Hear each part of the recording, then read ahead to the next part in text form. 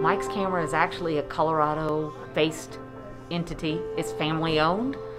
We've been here since the middle of the 80s. And Colorado, it's out of Boulder, is our main flagship store, and that's where all the offices are. And we finally got a store here in the Springs about seven and a half, eight years ago. So we're all thrilled that we finally have something in Colorado Springs.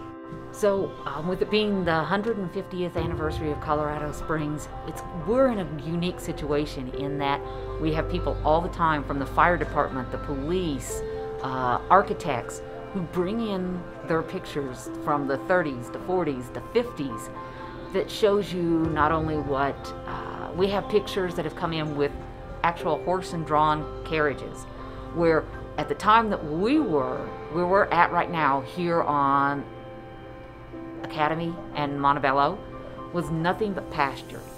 You get to hear the stories about how Colorado Springs grew, and we have the pictures to go along with that.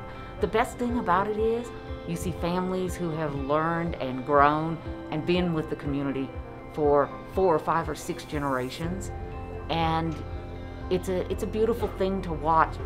We have been fortunate enough to be with Best of the Springs with the Gazette for for a few years now, and it's phenomenal because not only do we get to, to spend time with our customers and feel that appreciation and the love that we get from them, but the other businesses here too in Colorado Springs. When we have Best of the Springs with the Gazette, we get to meet people that you only talk to on the phone.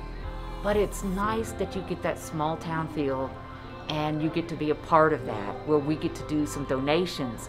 We want to be part of, of Colorado Springs and we want you to know where we're at. We want to we want you to, to feel comfortable and trust us and bring those memories in.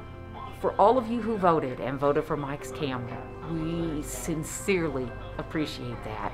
We appreciate your business, we appreciate your friendship. We're glad to be part of your life, and we want to welcome all of you who have never been in our store.